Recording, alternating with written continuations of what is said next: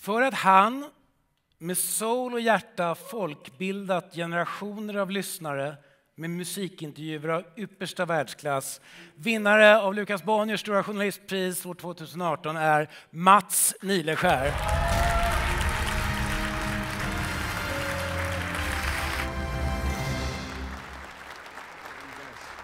Soldier dies but once. Yo, this the Thug for Life Tupac. We ain't got time for bitches. We on the Soul Music Show on P3 with Matt. Something for my godson Elijah and little girl named Corinne.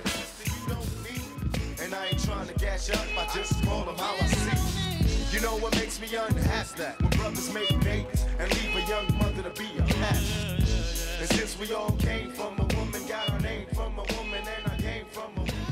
Du ser ut som om du aldrig har gjort något annat, Mats.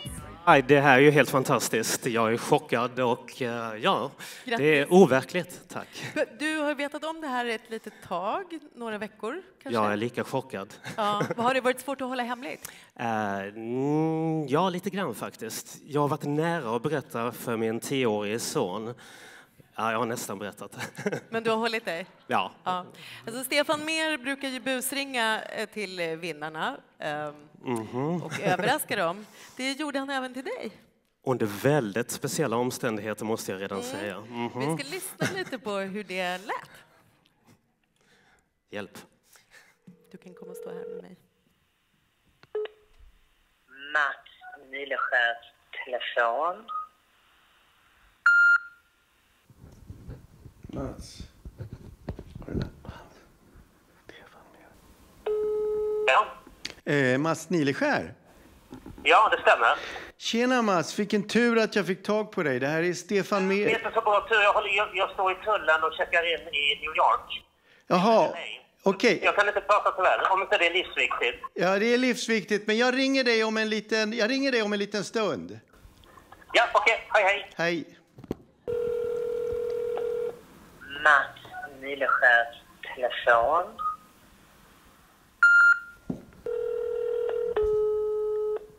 Hallå, ja. Hej Mats, Stefan Mera på Bonniers. Förlåt att jag jagar dig så. Jag är på väg att stiga på ett plan. Du, har 20 sekunder på dig att säga vad du vill säga. Då är det så här att vi har köpt rättigheterna till Michelle Obamas historia Becoming. Bonniers har köpt dem. Det är en jättehistoria. Men hon har ställt ett villkor. Ja. Du kommer inte tro det, men det är att Mats Nileskär intervjuar henne i Stockholm. Därför att hon har hört Tupacs, din intervju med Tupac.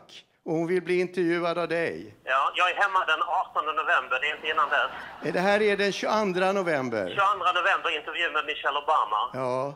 Live på scen. Vi funderar på Globen eller Bonnier Konsthall. Du får ge mig ett offer så jag can't refuse, det kommer bli jättestressigt. Okej, okej. Jag, lägg, jag lägger 100 000 på bordet. 100 000 på bordet insatta på mitt konto innan, eh, innan eh, själva evenemanget. Gör du det i så fall?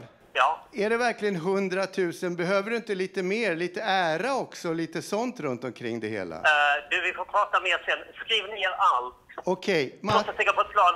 Kaptenen, han liksom blir helt galen här. Vi hörs. Hej, hej!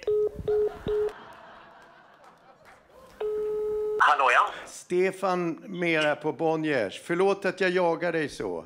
Vi måste ju få ett slut på det här. Ja. Vad tänker du om samtalet igår? Ja, det, det, det låter ju fantastiskt trevligt. Uh, givetvis vill jag intervjua eh, Michelle. eh, Men tycker du inte det är konstigt att hon vill ha dig som intervjuare? Nej, men jag vet ju att hon, hon är- gillar hiphop och Kendricks platta har ekat i eh, det ovala rummet. Mitt, eh, mitt eh, svulstiga ego tycker inte att något är osannolikt. Då kan jag säga det att ditt, ditt ego kommer att fira den 22 november för du har vunnit Lukas Bonniers stora journalistpris. Oj! Det låter helt fantastiskt. Eh, det, det låter ju så my- mycket bättre än att, uh, intervjua Michelle Obama. Jag eh, ramlade ner på soffan här i Los Angeles, mållös. Och grundlurad, känns det som. ja, det, det är helt otroligt. Oj, vad glad jag blev. Men jag tror att vi... Men, eh, men du lyckades. Jag hade ju till och med första frågan till eh, Michelle i huvudet nu. Vill du höra den? Ja, gärna. Ja, men det, de bästa frågorna är de enkla och klockrena. Eh, var det hiphop som fick in din make i Vita huset? Det är lysande, Mats.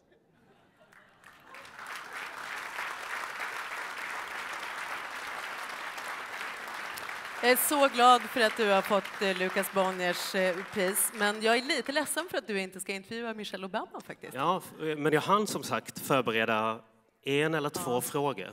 Men är det alltid så här du förhandlar, Mats? För jag känner att jag har väldigt mycket att lära här. Under väldigt pressade omständigheter. Jag var liksom på väg till eh, 10-20 olika intervjuer i USA, så okej, det här är bra, men jag måste få det överstökat Ja. så jag kan koncentrera mig på ja, det jag gjorde då.